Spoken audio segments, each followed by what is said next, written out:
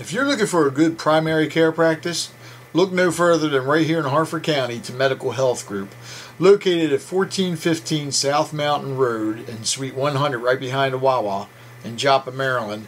They are doctors you can trust. Call them at 410 918 0777 or visit them at MHG, that's Medical Health Group, MHGDoctors.com. On this episode of the Harford County Living Podcast, Harford uh, County Living Podcast, episode number 31, um, had the opportunity to sit down uh, with uh, several people uh, for this podcast, and this is something I've been wanting to do for a while. Um, luckily, I, I, met Sheldon Bair, who is the composer and founder of the Susquehanna Symphony Orchestra. I'm sure you've heard him on a couple of the other podcasts before. Um, and he is doing a concert June 3rd uh, called Community of Hope, and they're raising awareness about this opioid addiction, uh, which is not just in the county, but it's throughout the country. Um, also had uh, two pastors on there, uh, Adam Shellenbarger, who, who uh, co-hosted this with me, and he was kind enough to let us record at his church because uh, you know our studio is getting revamped right now.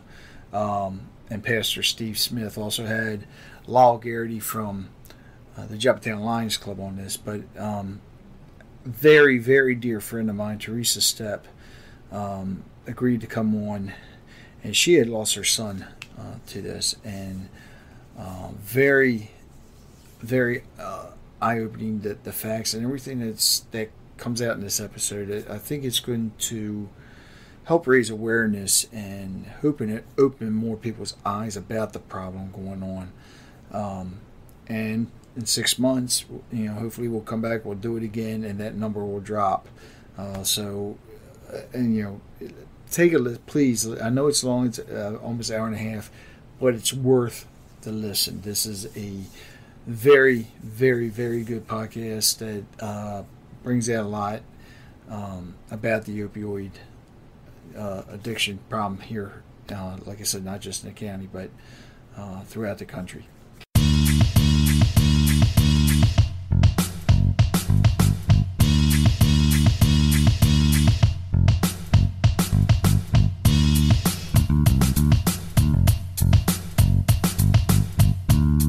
You are listening to the Harford County Living Podcast with Rich Bennett. Thank you for coming, and please send any suggestions or comments to podcast at harfordcountyliving.com.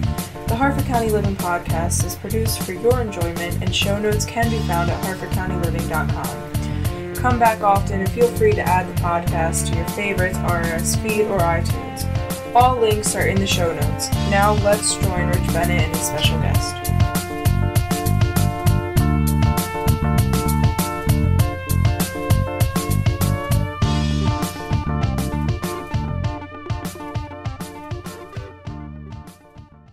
Like to welcome everybody to the Harford County Living Podcast. Got a full table today. Um, Sheldon Bair, again, who's been on like a hundred times, is with us, uh, along with Pastor Steve Smith, Lyle Garitty, who's been a few times as well, and somebody I thought I wanted to ask him back on, but Adam, now I'm going to get the name right, Shellenbarger, and of course Teresa. St- Actually, everybody's been on at least once because Teresa's been on once or twice before. Once.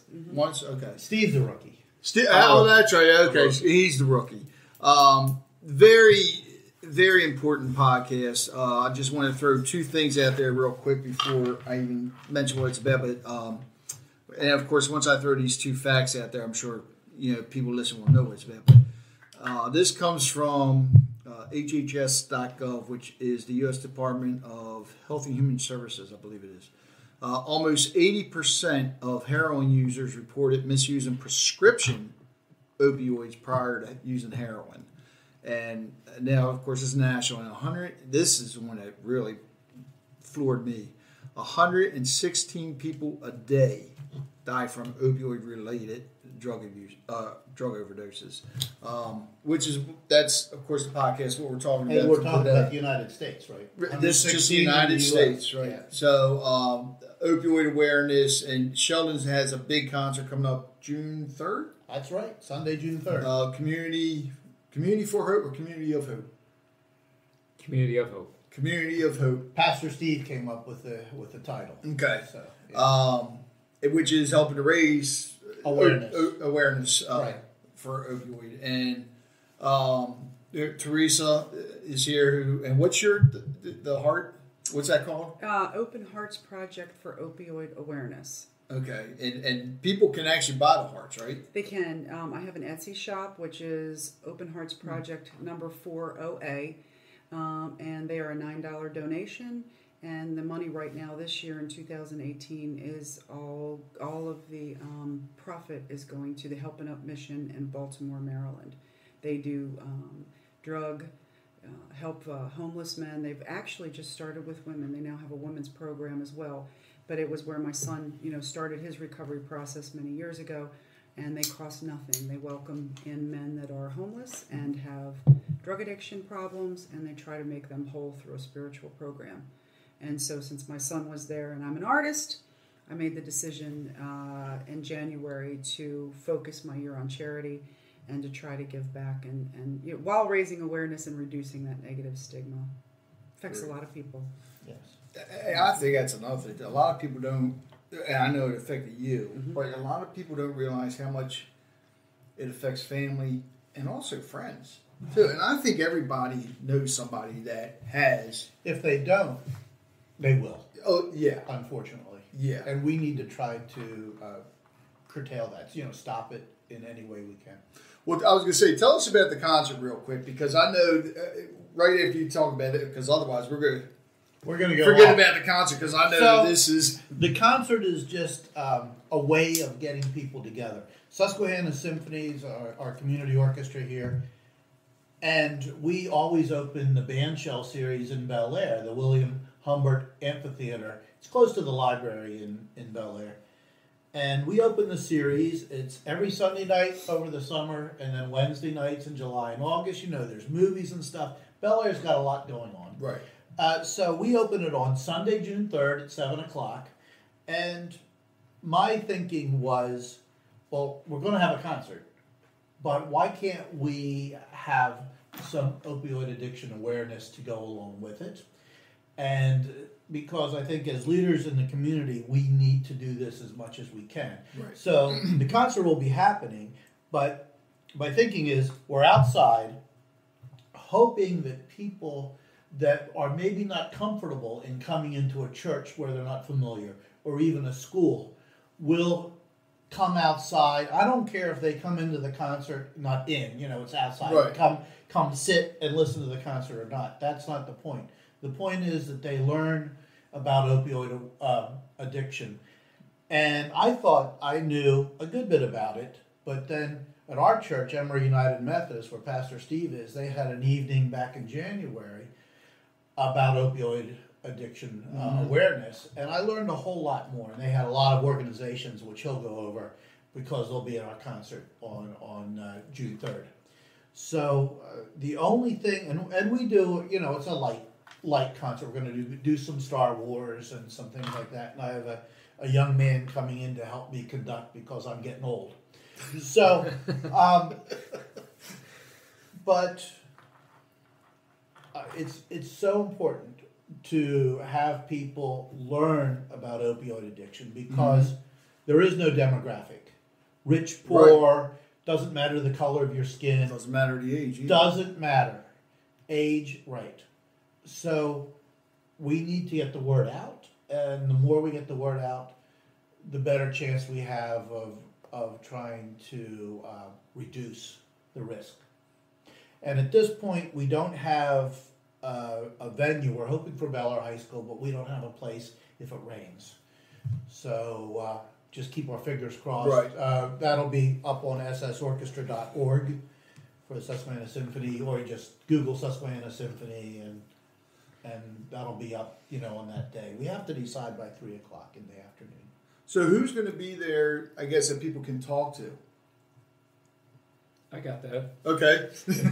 Um, some of the groups that will be there uh, will be the Office of Drug Control Policy will be there, Okay. uh, the Harford County Sheriff's Department, uh, Char Hope Foundation, which is a foundation that was started by Derek Hopkins. He had a heart for the addicted. Uh, he went through some things with some fa- family member, and um, came to our church and said, "Hey, you know, we have an empty house, which is a parsonage, which I don't need."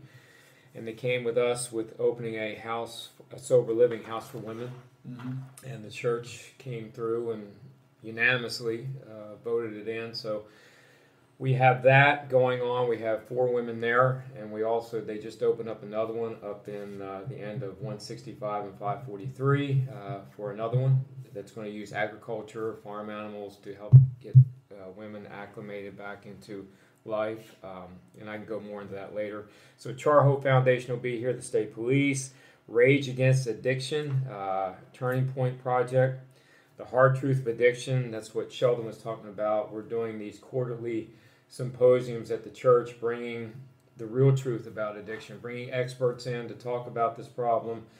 This one coming up, which is in August, will have a two part. It will be one for parents and adults, and one separation for for uh, the younger generation that they can sit and talk and ask questions.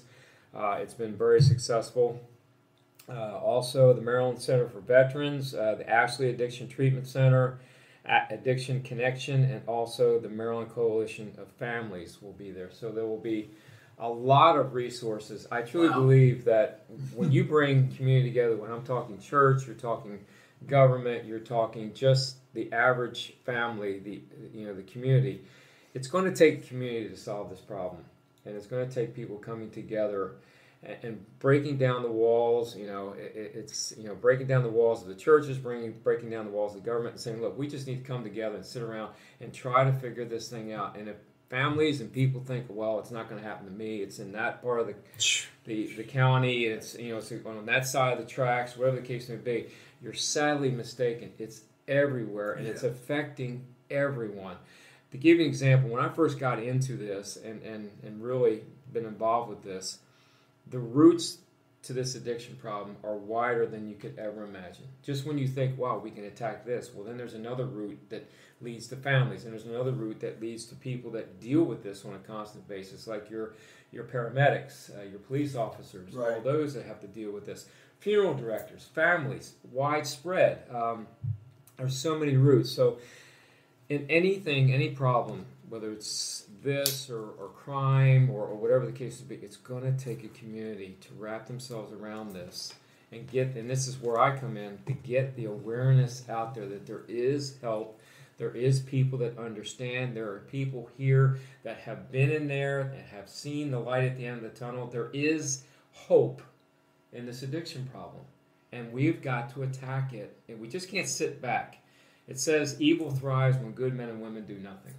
And we mm-hmm. have got to be proactive in this to try to get this message out and get these numbers down to where one is too many. Yeah, So I agree. so hopefully through the Susquehanna Symphony Orchestra and the Community of Hope, which will be on June 3rd at 7 p.m., 7 p.m. uh, we will bring this out, and there'll be people and experts there to answer questions about anything that they have about this problem. Actually, we're going to start with a speaker a little bit before 7. So we encourage people to come out. There'll be a food truck. People can grab Yep. a bite to eat. Yeah. But the important thing is to learn about uh, opioid addiction. absolutely, And knowledge, gaining knowledge is so important. absolutely, knowledge is powerful. and where where to go for answers. Because what if your neighbor, maybe it's not you, what if your neighbor needs Right. help? Well, this is where you go for answers. Let me make a call for you, or let me contact you, put you in contact with somebody. This isn't a problem you just say, well, it'll go away. It's we just can't yeah, sweep this under the rug. It's not going to go well, away. hopefully it will. Yeah, eventually, it'll hopefully it will. But it's going to take a community. It's going to take people coming together and, and talking about this. You can't keep it hidden in your family. No. There are resources out there. There are people that care about where you are in this problem, and we need to get this awareness out. One thing we really need to do is pray that it doesn't rain on June third. Please, been praying daily Yes. for no rain. So Thank Well, you. where is this again? it's at the band shell behind the Bel Air Library and Shamrock truly behind Shamrock Park, right? okay, Uh, truly behind the Bel Air Police Office and the Bel Air Town Hall. but it's at Shamrock Park. Yeah, there's a bi- there's a band shell. It's called the William yes, Humbert Yes, okay. Band Shell. It's an amphitheater. It Right. was a person that started a lot of the July Fourth things, started the Bel Air Community Band and stuff. Great guy, and uh, yeah, it's it's there, and and we usually get a good audience, as do other organizations. I mean, there's a lot of music there over the summer, so I just thought it would be nice to. Let's just let's just have uh, organizations there where people can go by and pick up information, and talk to people who are knowledgeable. Amen. Yeah, yeah, that's one of the things, and because I you always see, I guess it's the sheriff's department that goes around doing the presentations, but it, other people in the community going around doing presentations, I think is key too. I think, well, Adam, you might be able to answer this, but the only time I've seen it here is when I think it was the sheriff's office came and talked at two of the schools, or maybe one of the schools. We uh, one of the things that we've been talking about in Joppatown High School has been um, the the county does a really good job of trying to present things to various people. They have that addicted play that they Yeah. do every year. But one of the disappointing things that we've had, we've, we've asked them to come down to the Route 40 corridor to say, hey, put it in Joppatown High School or Edgewood High School because it's at North Harford High School and it's at Mount Zion uh, United Methodist Church in Bel Air, but it never gets down here. So it's something where I, I would hope that this kind of stuff makes it down here, but um, we do know that there are other parts of the county that tend to suffer a little bit more with this particular issue, but that doesn't mean that it's not in this community, this Right. part of the county either. So it's it's definitely something that we we've been trying for. Um, one thing that I think is important with this, and I think it's good that you guys are are having this concert, that you're basically taking all these steps and putting these resources out in front of people. The word I think that was missing from that conversation, just for people who don't think that this affects them, is proactivity. You Amen. need to be proactive because if you wait until it's a problem, it may already be too late. Um, if if this conversation starts before there's a problem, if this conversation starts as a preventative measure, the success rates are much much higher, much higher. Well, I'd, I'd just like to add that um, my personal story um, recovery is hard. Yeah. Recovery is forever. And, um, you know, an ounce of prevention is worth a pound of cure. And I think people ask me personally um, what I think can be done or how it can be done. And, and your best bet is to try to get the young people. There's going to be a whole generation of kids coming up without parents. Um, That's I- true. there's and, and how are these kids going to feel?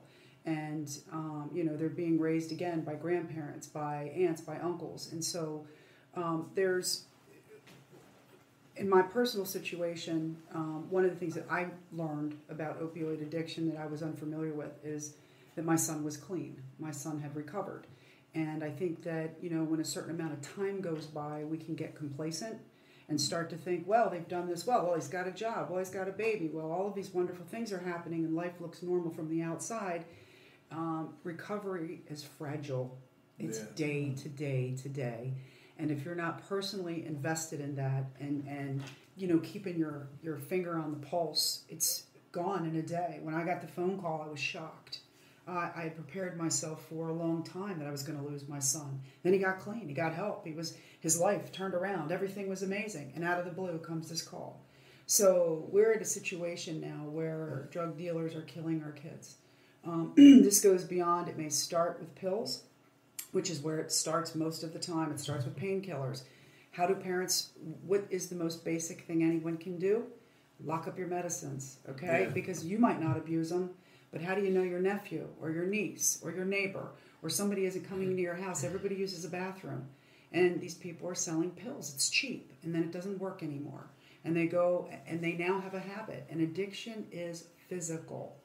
Okay, the physical. I, I I'm really when I read stories um, about people that are dying from detoxing in jail because jails aren't helping them, that tells you how extensive the problem is. Um, I see parents. I'm in every group with every parent that has had a loss, and you see it first and foremost. We are these soldiers. We're the ones frontline dealing with it. You know, you might have politicians or governments or other people behind you saying, "Yeah, we want to do something." But it's the parents that are foot Mm-hmm. soldiers. They're out there. They're the ones that are taking the, the, the bullets right up Right. front. So we're feeling it, we're seeing it, we're living through the addiction. That's the other part of it. And the vast majority of this starts with pain meds. It starts with opioids that are in everybody's medicine cabinet. So when I see agencies, you know, these these days where come bring your medicines, we don't know. We're told not to flush them. We're told not to trash them, you know, and they sit in cabinets, and kids are getting a hold of them, and that's where it starts. And um, for me personally, um, you know, my wanting to get rid of the negative stigma, I want to lose the word junkie. If there's one thing I can do, it's to stop dehumanizing people that have a problem. Okay, maybe there was a choice initially, but there's choices in everything initially. Initially, from the beginning, that has changed. Yeah. Now you have the problem. Let's not dehumanize it. Let's not vilify it um, with people. These are people. These are people's children. They're people's grandchildren. They're they're people's. They're if nothing else, they're parents.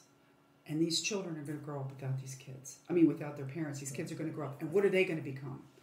So it's high time we all do something because we're all going to have to do something. The only, and, and another footnote I just want to make on this, which is something that maybe somebody hearing this might be able to make a difference. The thing that floored me, the day I lost my son, because I lost him, most addicts don't die in a hospital. Okay, they die on the street, they die in a home, they die somewhere. Right. And uh, my first thought was I wanted to donate my son's organs. That option wasn't available to me because my son was at the coroner and they didn't know what to do. And I'm like, well, wait a second. I want to donate. He's 26 years old. He had good eyes. He had a good heart. He had good lungs. He had Right. good. There's how many people are going to die? How many people could I have saved by donating his organs? And the coroner's office told me, yeah, well, we, we don't know. Call Make a Wish or call. And I thought, well, What? somebody's going to benefit from this, yeah, they put it back in my lap, and I didn't know. And you have, and this is time. This is time sensitive. This isn't. I can get to this next week. I didn't know what, and, and I'm dealing with grief. I'm overwhelmed by everything else going on. This thrown back at me is not the proper. So maybe somebody out there can make a difference there. If we're going to have this, can we benefit? Can it benefit somebody? I hope so. Yeah. Um, so there's a lot of, you know, and with all these groups, I'm going to be there. I'm a parent. I didn't know about this. If you hadn't been my neighbor, you know, if I hadn't my connection to you, if you hadn't known my personal story, I wouldn't be here. So I just learned to get about Rage Against the Addiction. Um, I, you know, we were at Bonefish Grill last night. This thing is vast. It's huge. And um, you know, I as a parent, how do I want to make a difference? Every little way I can. Right. Save one one person, one parent, not to be me.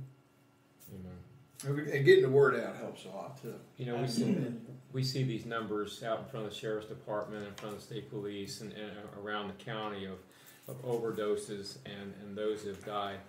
We've got to realize, yeah, a lot of people see these numbers, and, oh, they're numbers, you know. They're not. You Oh know, my God. there is so much more behind these numbers than, than meets the eye. This problem is bigger than most people can even imagine how big it is. And, and you made a great point. Your name is Pastor Adam. Adam. Adam, proactivity is, is key. You know, it starts right in our own kitchen table. Parents, grandparents, whoever raising these kids, you have got to know what your kids are doing. Right. You have to know. Yeah. You have to be, you know, and I've heard it, and I and I said this at a funeral of a young man not too long ago. You know, kids are saying, "Well, I need my space." I'm sorry, the days of the space are over. You got to You keep an you eye. have to be in their face and in their space and know who they're talking to. Social media is is everywhere. I mean, you have It can be good, but it it can, can be also good, but it be can also bad. be deadly. Right. Um, Absolutely. you know, you have Snapchat. I don't know all these things, Facebook, and, and all these things that they're talking and, and back and forth, and, and, and, and this popularity thing in, in school. You know, you have to dress a certain way. You got to have this and that and other thing. Parents, look, I, I know it's hard being parents. It's hard being grandparents, but there's going to have to be these words in the kid's face. No. It's harder to lose them. Mm-hmm. So my daughter last last August, my 18 year old, uh, had some teeth out, Mhm. and it was bad. It was down, you know, one wisdom tooth. They could see the nerves and stuff, so they gave them her opioids. Mhm. So that was on a Thursday. Tuesday morning, she was still asking for an opioid for uh, whatever it was, OxyContin or whatever, for her pain. So I got on the phone to the oral surgeon's office and said, she's still asking for it, but I'm really hesitant to give it to her. Mhm. So Thursday to Tuesday. And he said, oh no, you know, the nurse said, no, no, you just give her acetaminophen. Right.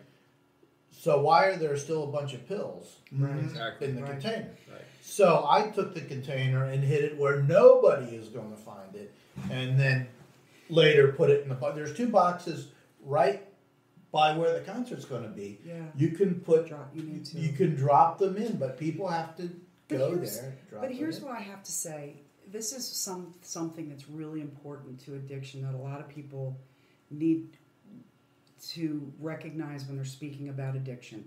No one knows who carries that addictive uh, quality. Absolutely. You you mm-hmm. you could have five people at a table, and there's something inside of your brain, your chemistry, that already is predisposed to addiction, and you don't mm-hmm. know it. So, is that your grand? Did you say it was your daughter? My daughter, Your yeah. daughter. Mm-hmm. So here's the problem when they administer drug meds. Okay, these meds, these pain medications, oxycodone, and all these things that have the opioid. You don't know. Okay, until and and that's a hard way to find out. So you're being responsible. A lot of people don't ask those questions. You can't ask people to be smarter because they're just not going to be smarter. Are they asking the right questions when you go to a doctor's office? Are we deciding to give opioids last? Because you could play devil's advocate on this, and and the people that are starting to hate the junkies are the people that are now not able to get pain medicines that they need because the pendulum is now swinging the other way and everybody's mm-hmm. overreacting. So most of these drugs have a have a, a propensity for addiction at some point in time. Let's say benzodiazepines, any or Xanax. If you're on Xanax for two weeks, it's addictive. I don't care who you are. Yeah. But then, okay, so now add this. Well, who already has this gene, this whatever it is? And I'm not a medical person, but I do know that just like alcohol, you can go out and drink, you can go out and drink, you can't drink anything because as soon as you start drinking, something is triggered in your brain that now that addiction is in full swing. That's the problem with judgment. The problem with judgment is that people that think that addiction is a choice don't understand that you don't have that choice. And it could be something that your parents did when they were younger. I don't know what turns it on and what turns it off. But the bottom line is people don't realize that they have that addiction problem until they're already addicted. And, and that brings It's us. like Russian roulette. It is. It's very true. And it, it you know, speaking of my own experience with alcohol and smoking, um, and even eating, to be quite honest, it it can be broken down to that. You know, you, you grab onto certain things, and uh, alcohol for one. Um, I was I wasn't a heavy liquor drinker. I was in my twenties, but um, I got to a point right around age thirty where it was beer every night, and it wasn't just one or two beers. It was six, and then it went to Binge twelve, then it went to twenty-four. I have that Irish blood, so I can drink a lot of beer. But that became a nightly thing for the next 20 years. And I finally woke up and said, you know, this is not doing me any good. It was affecting all. But it was just an addiction thing where, where it, it just became second nature. Like you come home, you drink, you know, you drink a, a Coke or a glass of water or something like that. Well, I, it was beer for me, no matter what, if I ate or not. Same thing with the smoking. Now add Same- fentanyl. Yeah. Yeah. because that's what's happened with Right, that. yeah. That addiction is now you have something in there that's poisoning people. Mm-hmm. And so if you know, I encourage anybody that has Netflix to watch the episode. You can you know go onto your Netflix and the show is called Dope D O P E, Yeah. and you can easily find which one it is with Harford County. And Hmm. you can actually look and see how it how it comes through Baltimore, how it comes into Harford County, because the as ridiculous as it sounds, you, you see the problem as being in the city, and they say oh, it's in the counties. But the dealers, the actual dealers that are bringing the drug in, are here in Harford County. Right. Yeah. Now, the people in Baltimore might be cutting it or lacing it, but let's face it, we've now evolved to murder in some of these cases because these people, Yeah. it's not the addiction even that's killing them anymore. It's what's what what it's laced with. So you started taking a painkiller. Little did you know, at age 15, or you got your parents' pills, it doesn't always start with just a surgery. And you take one or two, and now you're hooked. And that becomes three or four, and your friends, oh, but they can put it down. Yeah. Your friends didn't have the same thing. Mm-hmm. Now you're chasing this. Now your pills are too expensive. Now, the next thing you know, my son died of fentanyl poisoning. As did, and I think that our, our, our mail lady, and the, there's so many people, it touches so many people. And the thing that upsets me the most is it's still in the shadow. Because people are still judgmental. Are people talking about me? Are people saying really behind my back, oh, her son, her son was a junkie. Her son was a, I don't know because I do feel it sometimes. I've lost friends. I've lost friends. Why? Because the stigma is real. because people want to pat me on the back and say, I'm so sorry for your loss.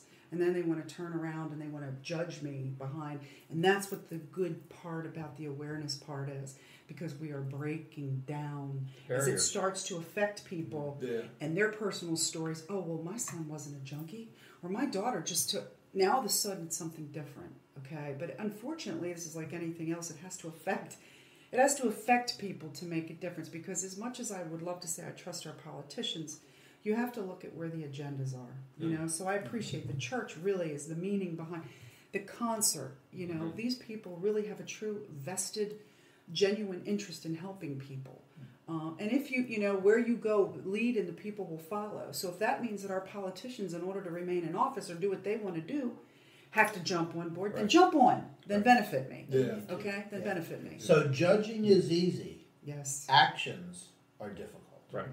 Exactly. And you brought another point. You know, this addictive behavior. We're having so many. We had this part of our uh, hope for. I mean, hard truth of addiction. We had Upper Chesapeake in their NICU unit. How many newborns are born into an addictive state? Um, Oh, wow. and I know that Oh, I that's just read an what's article. personally Right. affected me, and what how that determines them down the road as they grow older. I mean, we had a brain expert come in and talk about mm-hmm. what opioids did to the frontal lobe of their brain. It just basically dissipates it, and Wow. and so here are these kids, on no fault of their own, being brought in a situation that either parents or grandparents, or whatever the case may be, have to be on top of. Have to be watching their kids and grandkids' behavior, their their ups, their downs, their over and outs, because we don't know what's going to happen down the road. Do you think that it's any coincidence that there are more schizophrenics born now than there ever were before? The drugs from the 60s and 70s and those kinds of things that were going on change your brain chemistry. Right. Now, I have another son. My older son is um, a low functioning schizophrenic. Right. And I wonder about okay, so how is this? How does this, where does this manifest? Where does this come from? Right. But they weren't doing the studies on the brains that they're doing now, Right. these children. So now these these parents and grandparents that have these kids now have to guard even what kind of mental illness is this going to bring about uh, or, or show in the next because I can tell you I thought my son was normal up until 17 18 years old 23 I think is when we really started we had him diagnosed but a lot of these things the symptoms the the, the they don't show up I mean he graduated high school he Right. seemed normal until 23 everything changed for me so these children, we don't even know what's coming. I don't think we know what's coming no. because now your brain that runs everything, could Right. there be physical conditions that come because your involuntary things Right. are somewhere affected? What diseases? So it's really important because it just I love that thing that you said about the um, when you said when we started about evil people and what, what Oh, was evil that? thrives when good men and women do nothing. That I love that. I love that because there, there is the mantra right there. Oh, and, and the thing is, we can't sugarcoat this thing, you know, and this is why we came out with this hard truth. It's got to be put in a way where it almost shocks you. Oh my goodness, this is in our backyard. This is down the street. This is in mm-hmm. our schools. This is, you know, this is everywhere. It's everywhere. This is this is a countywide, statewide, countrywide problem, and we and, and there's a lot of people out there that want to want to get involved but just don't know how. I'm telling you, if you want to get involved, you want to have a voice. There are places out here. Come to this concert. It is there. Um, there will be answers. There will be experts that have been there, done that. You've been there, done that. You know what it is to, to see the progress of your own son go through the whole. And then here we are. And here's the other other thing. You know, I hear from young kids. Well, it's my body. I can do what I want. Think about this: the people that affects Yeah. behind you. You know, mom, dad, grandparents, aunts, uncles, the community, um, um, paramedics, whatever the case may be. You think you're not hurting anybody but yourself? You know, this is much bigger than that. And I hope, and this is my prayer for this county is, is that we're reaching the kids as young as we can, because it's in middle school, and I hate, you know, I hate to blow this county apart. It's in our middle schools. Mhm. There's kids that are addicted in middle school. And so we really, really got to get the awareness and get it to the schools, get it to wherever we are. Talk about it. Talk around a dinner table, wherever it is. There's always a place to get this information out. And and don't be shocked, parents, grandparents. Don't be shocked if your child comes to you and says something. Goes, the the last thing you do is to get upset with them and get mad and stuff. Take a deep breath, count to ten, and talk about this. Because the last thing we want to do is be judgmental and, and all of a sudden come down on their world and, and blow this thing completely apart. We So- need to be together. So they say, okay, so I'm aware. So now what? Because I would think the biggest problem after that is once you have the problem, what do you do?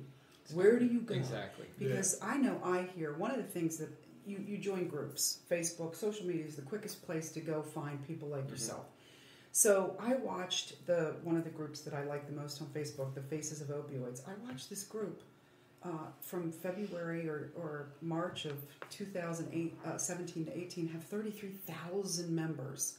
Most of those people are already addicted and they're fighting for their recovery and most don't know the resources where to go what to do so here i have this problem parents quickly become overwhelmed i don't know what to do i didn't know what to do you know and, and it's not good enough to, to, to figure it out after the fact Yeah. okay great now i know my son is dead perfect all i can do at this point is help somebody else and hope that that they don't have to live in that legacy you know Can I? yeah Yeah. please. Okay. So I, uh, through my ministry at this church, I do lots of different things. It's you know nothing's the same. I go to government meetings. I go to school PTA meetings. I go to uh, we we host the homeless shelter Yeah. here. Um, That's where I met you. each there we go. That's it. Um, so each one of these things, uh, believe it or not, all of these things are affected by this this problem, this opioid problem. Absolutely. And so when I go to the, the government meetings, that's where you'll deal with some of the thing the things about drugs coming in from Baltimore into Harford County, or if you live in another county, or if you live in Baltimore, if you want to try to prevent that, that's where you can go to start that problem. If you have a child, if you're concerned about that child, or if you're in the community and, and you just want to try to keep this out of your community, I think you're right, Steve, about keeping things out of out of the hands of kids. Go get involved in a PTA. I was at a PTA meeting last night at Joppatowne High School. We had six people there. Only one of them was a parent. That was last night. was last night. Last night, the third Monday of every month is Joppatowne High School PTA meetings, and we we had one parent uh, out of the whole high school. We had two community members. We had a teacher and the principal, and one student, and then we had one mom. Um, when we have a homeless shelter, we have people who are addicted every single year, and we have resources. We have the ability to get them help. Um, when people, unfortunately, if, if people die, you know, there are resources for the people who remain. And I think the thing that's that's the common thread through all of it is none of this is a thing that you have to go through alone Amen. Amen. there are people in every single one of those groups that are already dealing with this problem. If you think you're going to be alone, if you think you want to stay out of it, you don't need to worry about that stigma from people who are knowledgeable about it because the people who are knowledgeable about it, who are working on it, know that it's not something to be embarrassed about. It's something to confront and bring out into light. Because if you if you try to shove it away, if you try to even keep your kids away from it because you want to protect them, ultimately what's happening is they could get blindsided by something that they don't even understand is coming their way. If if you expose your kids to the realities of this problem, if you expose the people you love to the realities of this problem, if you expose your friends and your neighbors to the realities of this problem, it, it will help to erode that stigma even further to realize that this is not mm-hmm. something that any one person or any one family or any one group or any one faction of the society, be it government or schools or churches or homeless programs or social program programs like that or morgues or anything can deal with by themselves. This is a as you've been saying, Pastor Steve, this is a whole community thing. And even if you don't think it's your problem, it's gonna touch something that you're you're very involved in. I, I love that this has given me a voice Yeah. because I have zero shame. I always hope to be the person in the room Right. when someone says something because um, it's their ignorance that I and, and I don't want to confront in a hostile manner.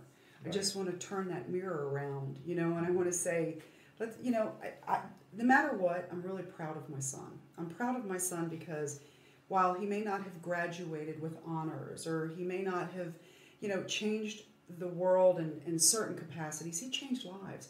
He was down in the gutter with the people that needed it. And when he died, I had no idea. So many people came to me and said, Your son helped me do this, and your son helped me. As a parent, I am proud that, mm-hmm. that my boy was able to do something good for people that, Yeah. that other people threw away. And that's what we have to stop doing. There needs to be some huge degree of compassion in this. And to say, because nothing will t- spin me around quicker again. That if, if nothing else, I'm out to, to dissolve the word junkie. Right. I just think labeling someone and stigmatizing it in that manner says to me that that person is so far removed from reality that you have no idea where these people come from, how they got here. But what you are doing is you're turning a cheek and you're in denial, and that's going to kick you somewhere down the road because Yeah. we all know somebody. And if you don't, you will. You absolutely will. And it's, you know, stepping back, but uh, first, uh, one thing I want to say is that above and beyond that, I mean, your son left a legacy, his He child. did. And Absolutely. that, and that, Oh, that- yeah. you know, that child's going to grow and, and, and be, you know, like, like every other child is going to be uh, just that much better Right. as they grow. Um, Absolutely. I can't wait for her to smile at me when she sees me. Uh,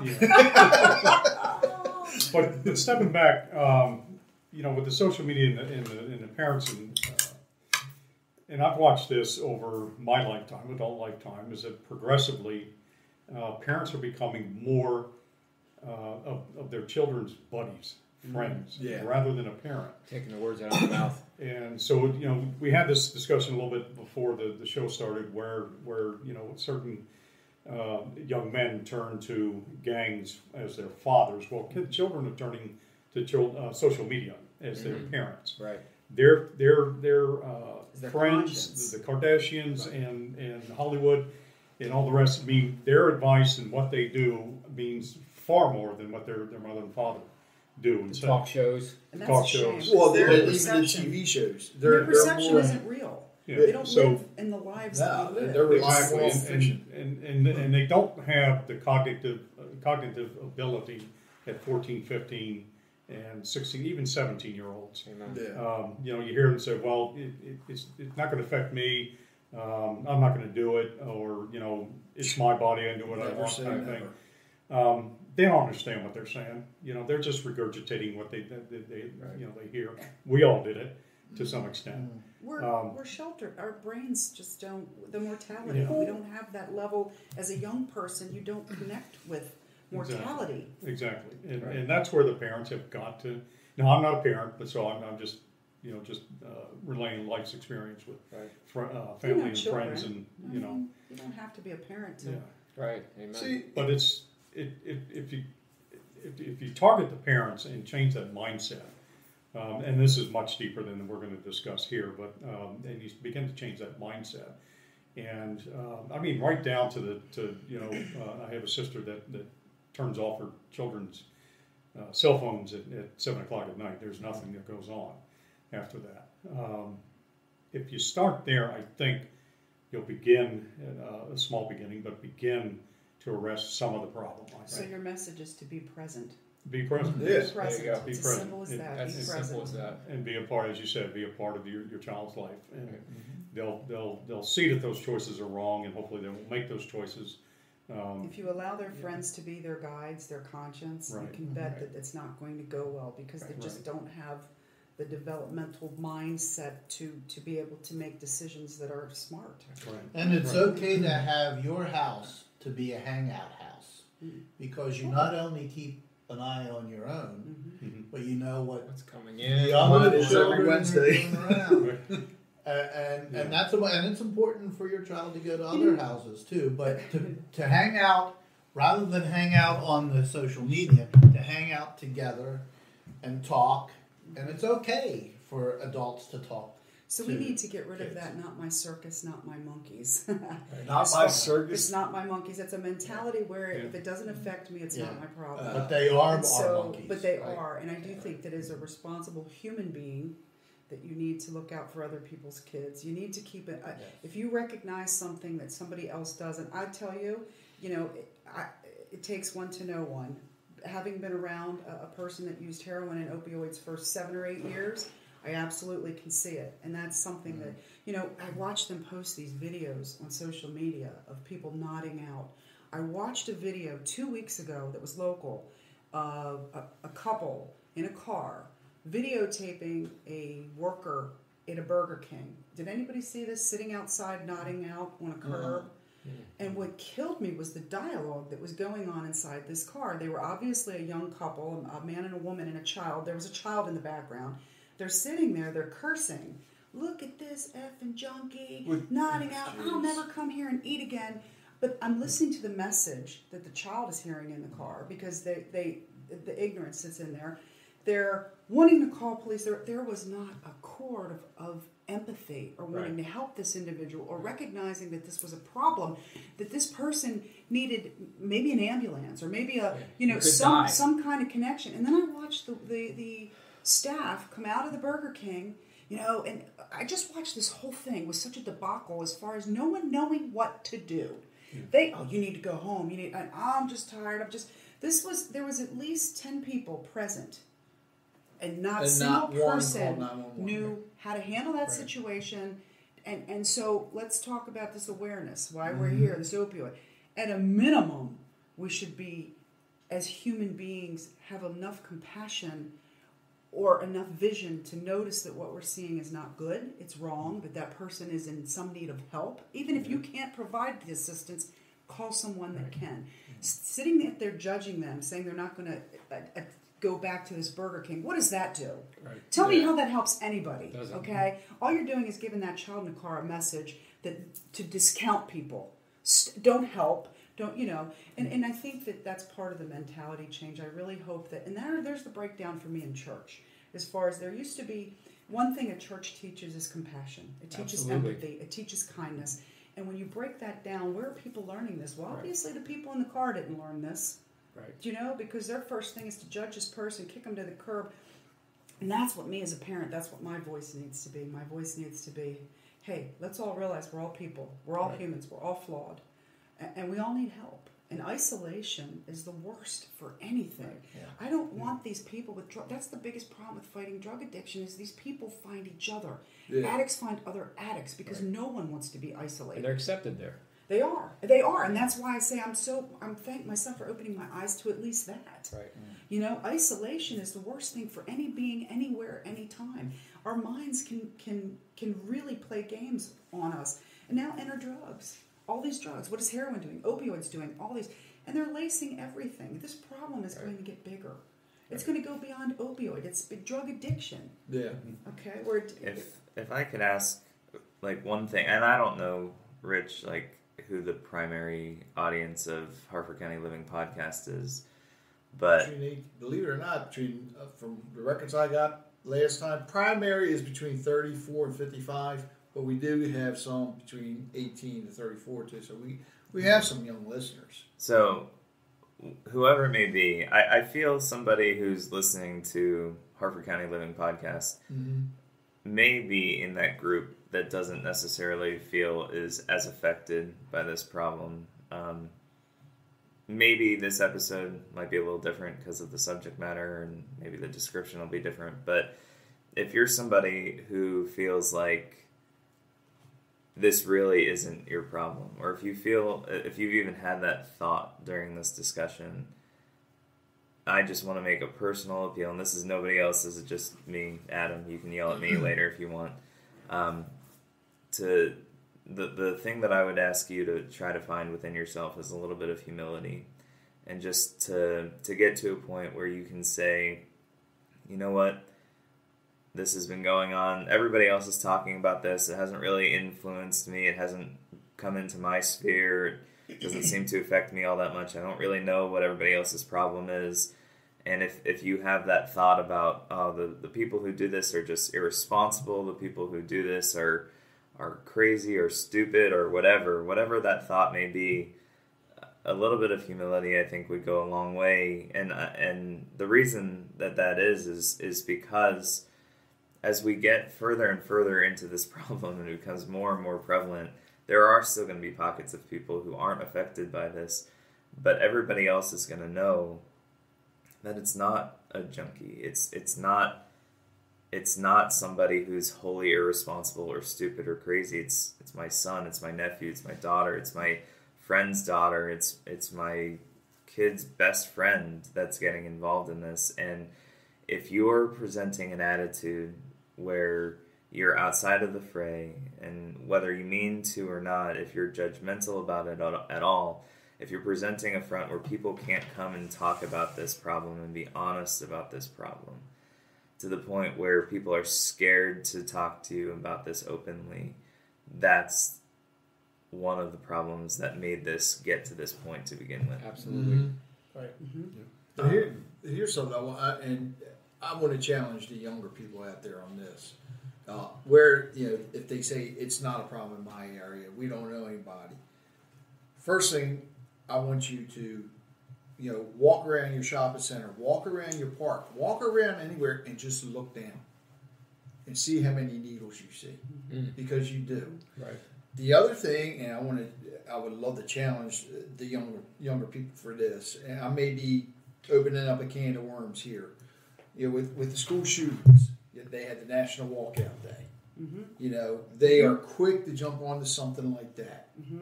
The opioid problem is a bigger problem, I believe. 17 people Why not do something for that? versus 114 a day.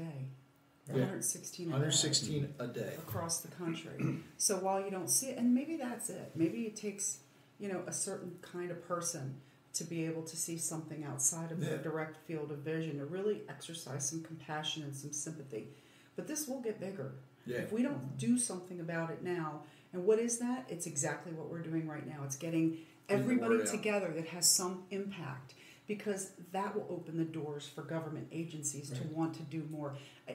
They there's been this disconnect in politics between people and politicians. That needs to come together too. That they're really serving our purpose and they're doing what we call them to do. Um, you know, and I'm, I'm, I am seeing more people get into politics nowadays. I think that really want to make a difference. You know, because we, we had this conversation before the mic came on about greed. You know, we kind of got to put our priorities in a little bit of perspective Right. because we as an American society seem to focus on what we can do for ourselves. How does this benefit me personally? My personal wealth, my personal education. You know, all of these things about eh, eh, you've watched the community dissolve a little bit and people become more isolated. I'm lucky enough to have good neighbors and know my neighbors. People have become their own little in their bubbles. Yeah. And so this maybe this epidemic is going to bring us out of that and, and call us to duty and to service. Because I do think the one thing that's helped me through this, I've always been kind of a, a person of service, but it really calls me to service. And I Right. think that part of depression and part of isolation, if you really want to do something that has impact in your own life, there is no way, if you're suffering from depression at this moment, if you don't go out and help somebody else, you won't feel Right. better immediately. Yeah. Mm-hmm. Okay, so and that's what addicts are doing. They're helping each other through this process. Um, you know, I could live without another story on someone that died in jail because the jail wasn't willing to help them through detox. This is happening. I'm seeing people. I'm, I'm friends with parents that this happens to. This isn't in some far off land. So I mean, we're not even doing the minimum to help the people we can. Yeah. So by opening up, you know, they should be shamed. We shouldn't be shaming people. We should be shaming organizations that aren't doing enough. And a jail that has the ability to help someone isn't, and this is acceptable. As soon as that hits the news, why, why aren't there more people standing up? You know, raise your fist, fight for something that has some impact greater than yourself. Right. Because everybody wants to get involved. And, you know, me too. You know, I'm guilty to some degree of my own, you know, getting involved in myself. But now this was my son. And I'm not doing this for him anymore. I'm doing it to help somebody else so that they don't have to live mm. through this. You know, it doesn't it doesn't cost you anything to be kind to someone. It doesn't. And and I don't care where that is. It could be opening the door for someone. It could be helping somebody in the grocery line. It may be starting a conversation that, that you're standing in Walmart, you know, just talking to people. We're living in such a, a me and I society that we're not afraid to just go and, and reach out to say hello to someone or be kind to someone. We don't know that person's battle that they're facing when they're walking into a supermarket. Just by opening a door for someone and saying, you know, you know, I'll, I'll get that for you. We can spread kindness around, and it starts with us getting out of this shell of, well, I, it's, you know, I want to see what's best for me, what's best for I, and this kind of stuff. And we've just got to take the blinders off and start looking at our communities and saying, we are sitting back watching our communities implode, and and and it's got to stop. Look, we had a cigarette problem, and there still is a cigarette problem, but as you've seen, cigarette Mhm. numbers have come Way plummeted yes. down because people got proactive, people talked about it. The cigarette companies finally got drilled in the side of the head saying, you guys got to do something about this. And so it can happen now, but it all starts with you. A random, an, an act of random kindness, an arc. We need a to be to able- kind campaign. It's cool to Be be kind. Be kind to people. Be nice to people. I don't. Well, social media will show I- you that more people will comment or get involved in a negative Oh post And we talked will about this ever coming get in. involved in a positive post. The hypocrisy in church has got to stop. There you go. That There's so much judgmental hypocrisy about people. about inside the God. church Yeah. and, and and so we've got to realize that at least and i know you would do this i don't care what you wear how you're dressed what you believe you are welcome.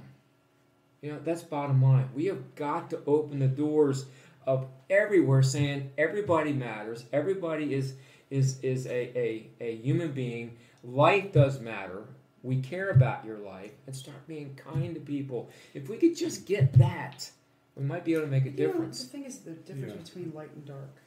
Things that come out in the light are healed. Things that stay in the dark grow fungus and die. I mean, that's biblical by the way Yeah, it- I, I don't. You know, and I've never. You don't have to be like I've never been spent any time in church, and I've never read the Bible. But yet I've grown to. I'm a, such a spiritual person as far as that goes, and I love these things. I feel like I should know it, because I always go, "Oh, that resonates with me so much." Um, but it's it is the way that um, you know. There, I go back to the old soul mentality. You know, you're a, a byproduct of uh, maybe it was I had really good parents. While they may have divorced, uh, you know, they were they were really and I often wonder about that because I try not to judge other situations like riots and you know those kinds of things to say, well, they didn't have the benefit of support or knowledge or you know it, it, it's but the, the- everything starts with judgment. We really need to try to make people. If you want to shame somebody, shame them for judging, shame them for vilifying, shame them for for acting in a way that is anything less than being a kind human being. Right. And maybe Amen. kindness will start to to be you know something that's cool. Be cool to Right. be kind rather than you know because it, it really pains Well, I me like to that see. cool to be kind Cool to be kind. it sounds It- like a song It's a, That it was, is. It is. well, It was a the cool song to be was kind. cruel to be kind. Yeah, right. That's- yeah, a cool to be kind campaign. I really think that that's Yeah, the next cool to be kind. movement that we need. And, and you know, people need to feel bad that the bullying. If it wasn't cool to bully, it would stop. So we need to stop. right And that touches every facet of everything. And maybe the simplest thing: don't engage when you see a negative post in social media. Please rather stay than away jumping on the bandwagon, and you, you don't know half of the story anyway. You know what I'm saying? You're just this is one person's perspective of, you know, people will judge based on one thing they've heard. They don't, they don't know if there's any truth to it, and all of a sudden they're jumping on this bandwagon. Stop, just stop it. You know, be They, they present, just be kind. they just look at the headline. That's They it. do, and they don't even know the backstory. And most of the time, most of the time, if people took the time and they really knew the whole story, if you walked a mile in somebody's shoes, you'd Right. really learn a lot. That education, we're all lacking that, and I don't know where it comes from in the human soul or the that that we we judge first and ask questions later. And if we have to teach ourselves not to do that, then we should be teaching that first and foremost. And if that starts in families or it starts, yeah. but, but really, that's where this starts. I think with the young people, it, it begins with trying to be relevant, and and they they they, um, they have to feel that they have to say something. You know, I, I kid people all the time, but you know that that put on a post or respond to a post like you're you're you're talking about. Uh, whether they say anything or not, they just have to put one or two words on there because they feel they have to be relevant. I've got to be a part of this. And it goes back to, you know, we're talking about um, kids walking out of school and, and things of that nature. I, I, I look back at these protests, you know, like like um, uh, what's that kid uh, Trayvon Martin in Florida. You know, he had these protests all across the country. I was watching the news. They're interviewing these young people in San Francisco and Los Angeles and all that. Why are you here? My friends are here. That's all it is. They don't know what's going. They don't know why this right uh, this got to this level or, or what the real problem is. My friends are here. I got to do what they're doing. Um, it's the same thing, I think, with uh, not only with the kindness, but I think you, you, you have to demonize. Um, you know, cigarettes, not people. I mean, Yes, yes. cigarettes were a demon, guns are a demon. Um, Heroin is a demon. heroin is a demon, but heroin is not a tangible demon for most of us. Uh, and by us, I mean the Right. community. Yeah, Yeah, I, I Where, get you. where Yeah. cigarettes are in your face, Right. Yeah, yeah. alcohol's Gotcha. in your face. Gun. It's You've got not as visible. right. Right. You've got to make it Because Because it's not legal. Addiction isn't as visible. Right. If if you make it a tangible, opioids are a tangible demon, Right. and you start and you begin that education. You know, filing lawsuits against pharma, pharmaceutical companies, things like that doesn't do anything. It just No. lines the pockets of lawyers and, and others. It doesn't tell your kids anything. You know, uh, it, it doesn't really teach us anything. But if, if we can get the message out there that the opi- opioids are a demon that affect everybody, as you were saying, whether you use it or not. It, uh, uh, the family member, the, the clergy, the, uh, the hospitals, the, you know, the undertakers, what have you, everybody is affected in one way or another. Absolutely. There is a choice here.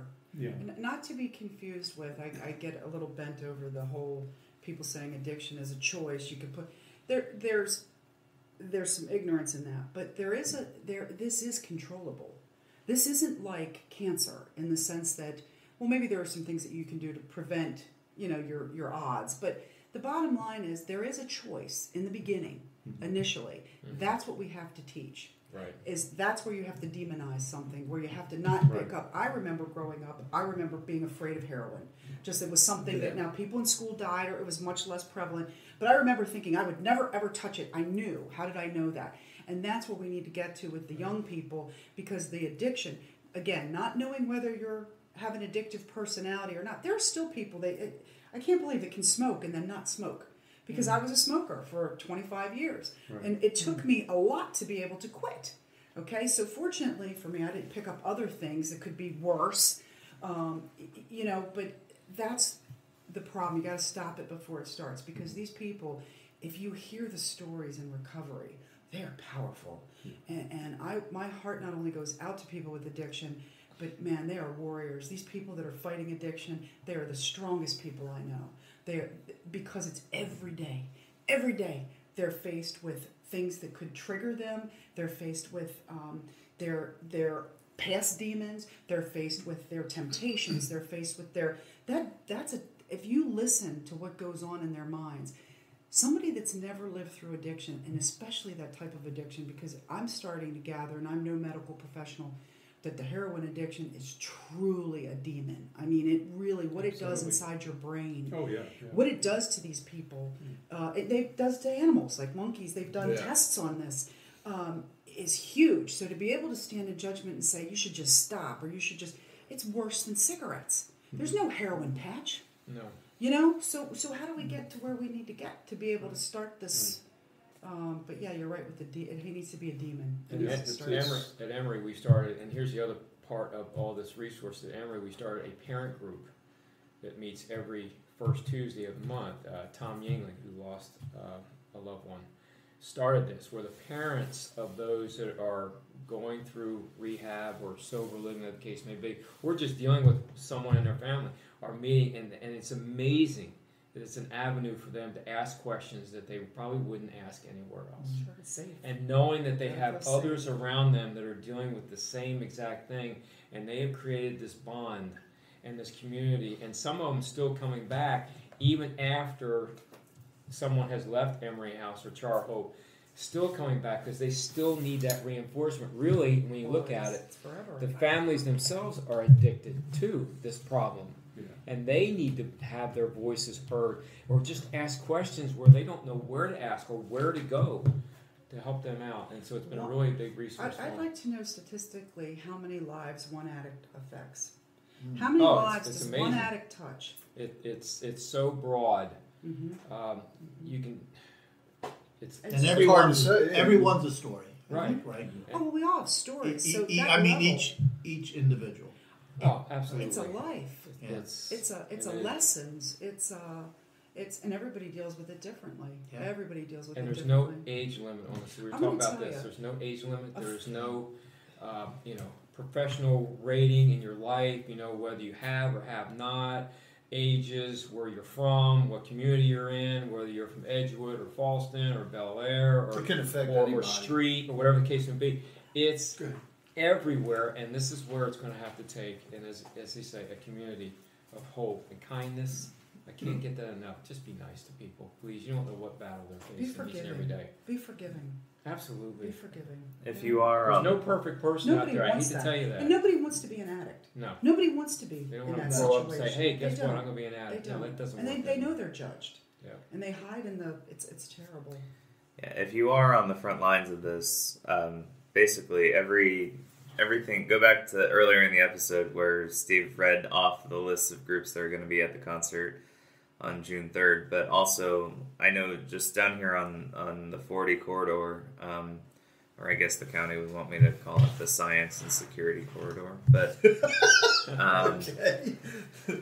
uh, any sheriff's precinct, so the northern precinct, if you're in the northern end of the county, and southern precinct, um, Upper Chesapeake has Naloxone trainings frequently. If you're looking for that kind of stuff, you can go there and seek out information.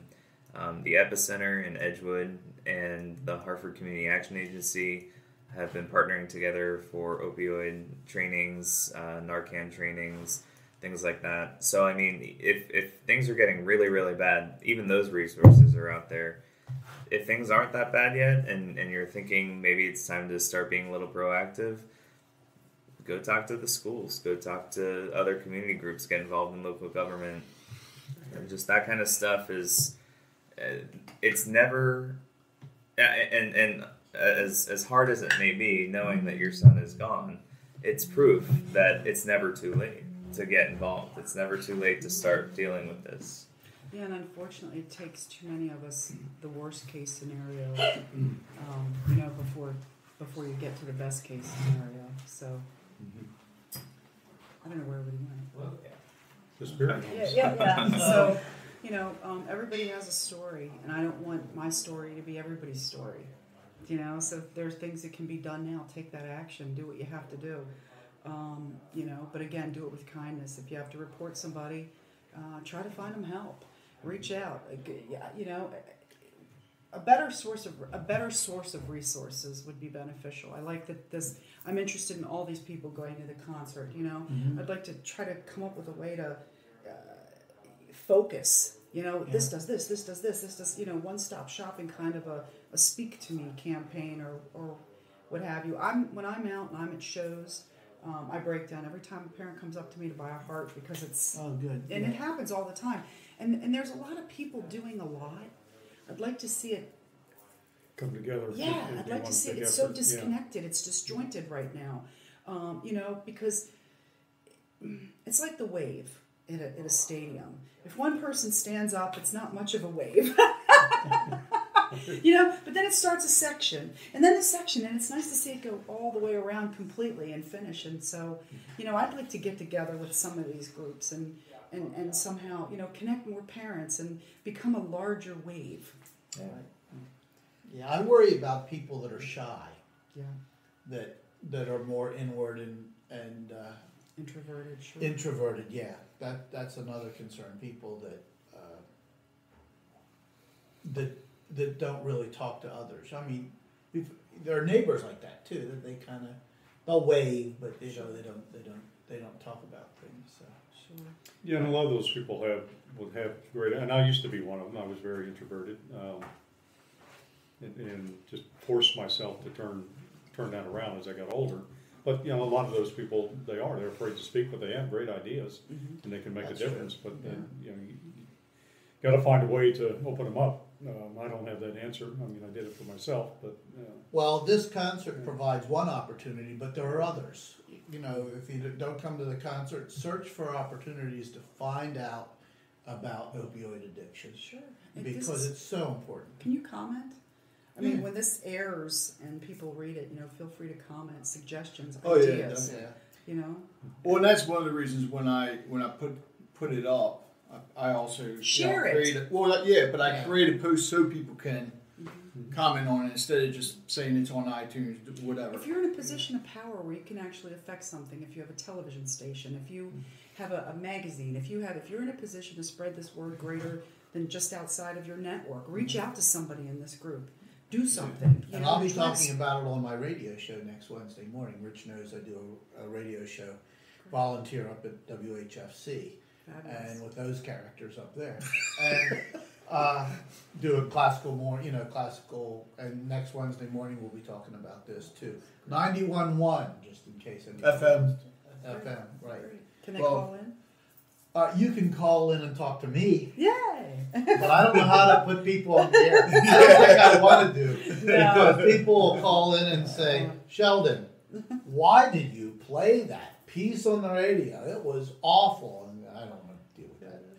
So, I don't think I've ever heard you play a bad piece. oh, thank you. Yeah. appreciate it. And you know, if you're looking for other communities, I'll plug my church. You can come take a nap in the pews while I'm preaching with the rest of my church and be part of that sleeping community. And that That's church it. is what again? Joppatowne Christian Church. Hey, you uh, know, speaking of community, I want to thank all of you for. I mean, Sheldon, Lyle, Adam, Teresa, all of you do Steve. stuff, Steve. In, and Steve, they, all of you do stuff in the community, and that's something I would like to see more people do. Uh, and and Adam, Teresa, and Lyle, you, you both know this. We um, on on Facebook, especially, somebody will post something, and you'll see somebody complain about something, but that person that complains about it does not get involved in the community.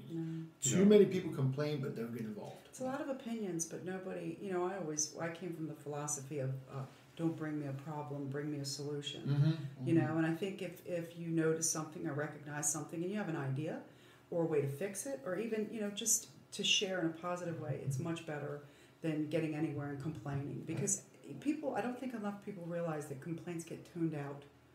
You know, that you become this now, okay, you're somebody that's always complaining about everything. So people turn it, turn off.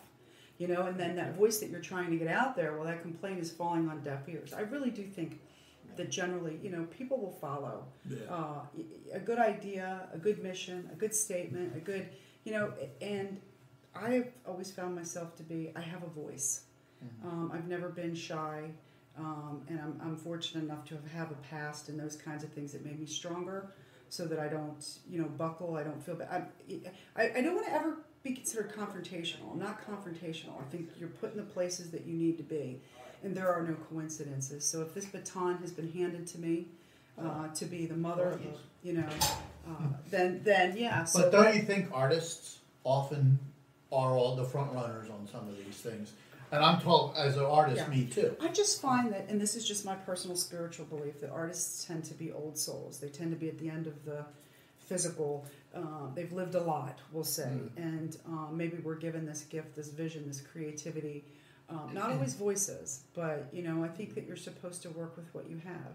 And I was one that when this happened, um, you know, I have my own story. It's an interesting story. Um, you know, as far as my spirituality, how it's tied to this, and the number that this number, the day my son died, followed me for seven years, as if it was a, a you know, a, a, not an omen, but you know, I just feel like this is my path, and um, if this is going to be the course that I've been given, then I'm going to do the most powerful things that I can do, or the things that are going to touch the most lives.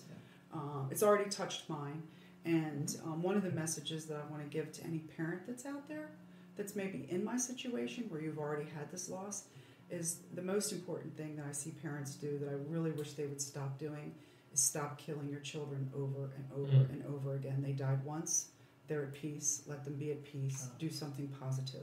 Because they hang on these this death. They hang on the death itself, they hang on how they how they passed. They worry, did they suffer, did they and they, they're stuck in this rut and they need to realize it happened once. You're killing your child over and over and over again. That time don't do it to yourself. The only person you're hurting is you. And so, you know, we carry our grief. We do with it what we have to do with it.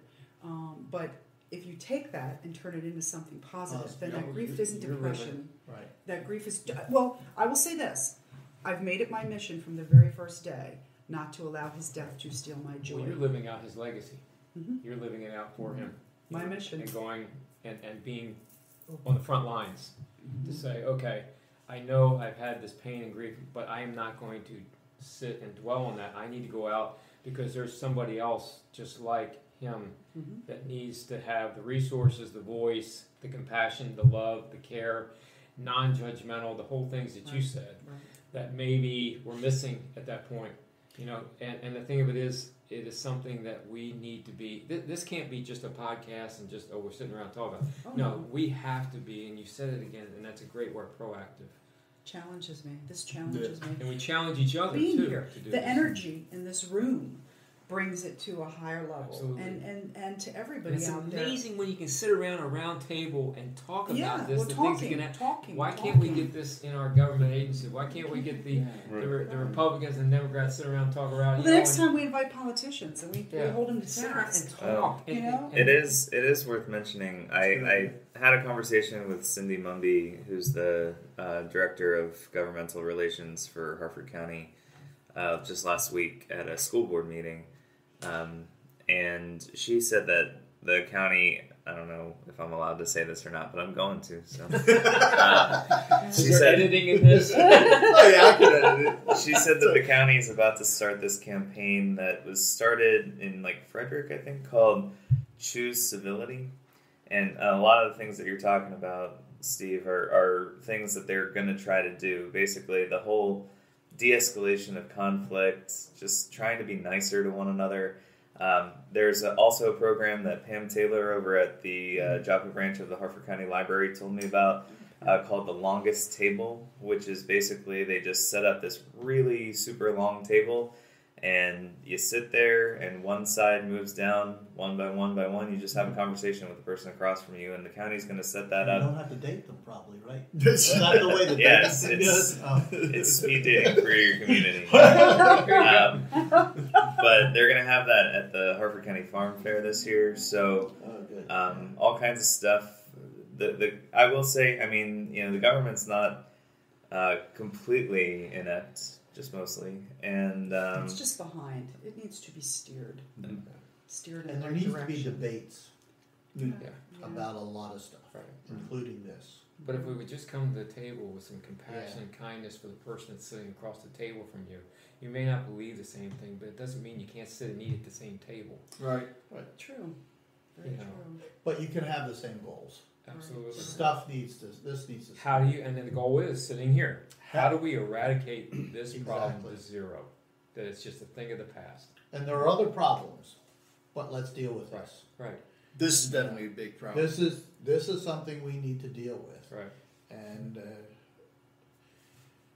uh, uh, and, and we need we need to be able to deal with this without the other what ifs. yeah. Well, Right. or, or what about? Right. Let's deal with this. Right. And to, to piggyback that, parents need to know that. Well, what if I do say? th- What if I go out in public, say my son or daughter, or what if? You know, don't. You know, fear is the greatest. Oh my gosh. Fear is the greatest hindrance of all of this. You know, fear is Oh, of I can't. You know, I don't want anybody to know, or I don't want anybody. Mhm. Gosh, say, what if the neighbors find out? And really, I'm so No. the opposite. I wear it like a badge. I've got this beautiful tattoo on my arm that I've invested in. did that hurt? Um, it- Did it hurt? not as much as childbirth. That's right.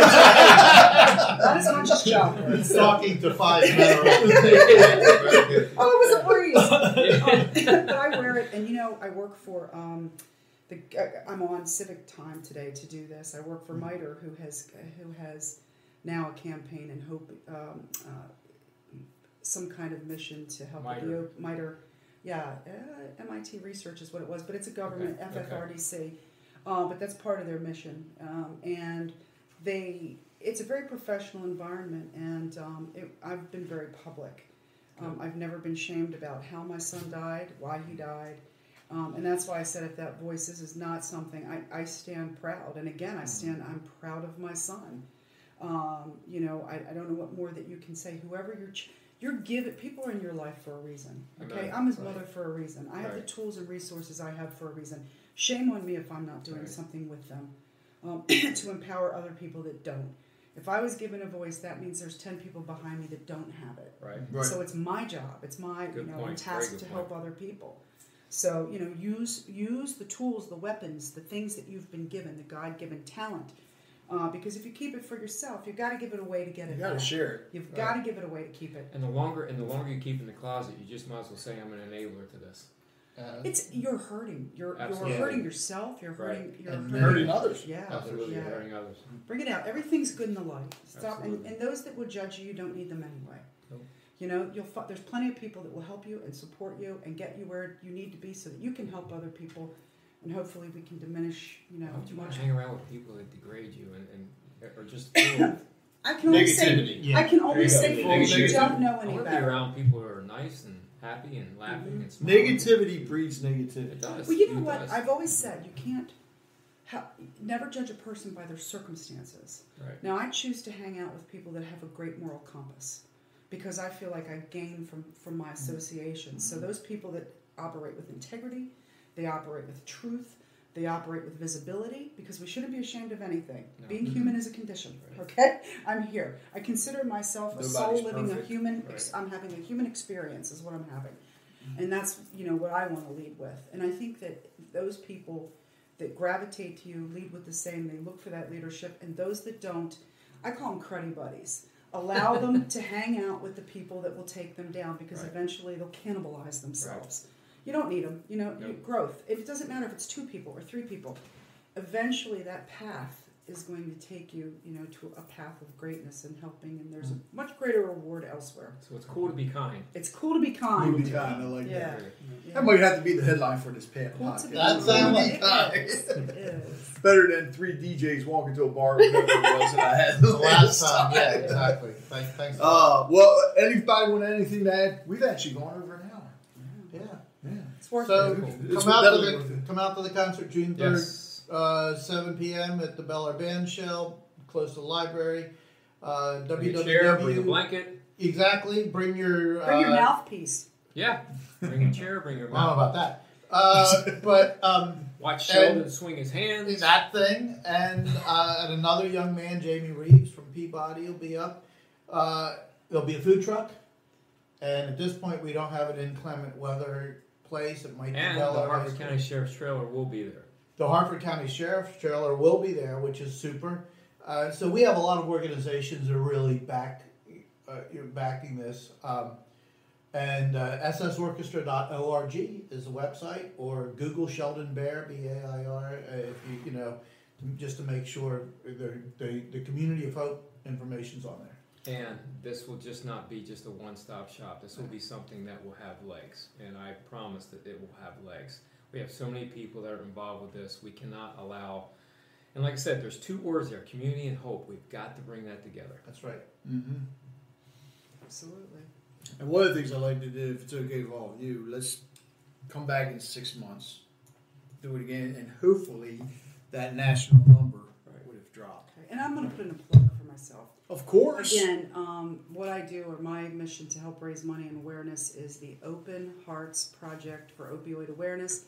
Um, the group is on Facebook under the Open Hearts for Opioid Awareness, and there's a shop now button in Etsy, and um, all of the profits from the heart pins. They're beautiful.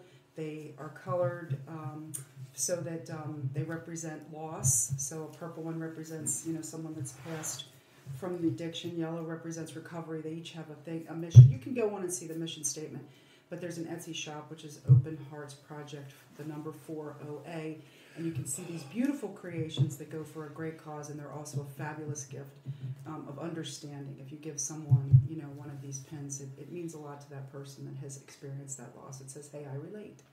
Outstanding. Well, I want to thank you all for coming on. Thank and, you. Um, Thanks, Rich. Once again, anybody, if you want to come on the Harford County Living Podcast, uh, whether it's business, organization, individual, it's free to come on. Uh, just contact us, podcast at harfordcountyliving.com. Um, and uh, like I said, hopefully we'll be back in six months to talk about this again, and that 116 people a day will drop. Be nice if it could drop to zero. Yes. So uh, once again, thank you, and uh, June 3rd, get up there. Thanks. Thank you. I want to share an amazing experience I had with Tar Heel Construction Group when I needed to install a new roof on my home. Let me tell you, they are truly a cut above the rest. Tar Heel Construction Group is an award winning residential and commercial roofing and exteriors contractor, focusing on roofing, siding, gutters, and solar solutions. Proudly serving Baltimore, Harford, and Cecil counties, they make it their priority to make a positive impact in the communities they serve first while providing exceptional services in roofing and exteriors.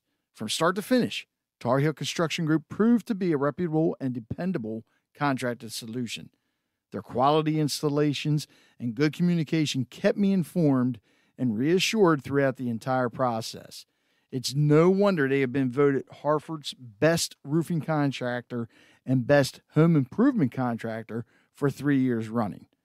But here's what really impressed me Tar Heel Construction Group's commitment to continued service and registered warranties. They stand behind their work, ensuring that I have peace of mind for years to come. What's even more remarkable is their dedication to giving back to the community.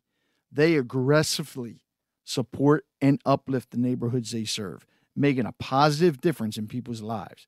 I feel incredibly grateful and humbled to have chosen Tar Heel Construction Group for my roof. They have earned my trust and respect for being the only contractor to be voted Harford's best roofing contractor and Baltimore's best roofing contractor in the same year. So if you're looking for top notch roofing and exterior solutions, look no further than Tar Heel Construction Group. Visit their website at tarheelconstructiongroup.com or give them a call at 410 638 7021. Again, that's 410 638 7021. Experience the excellence and community impact for yourself. Tar Heel Construction Group, building excellence one roof at a time.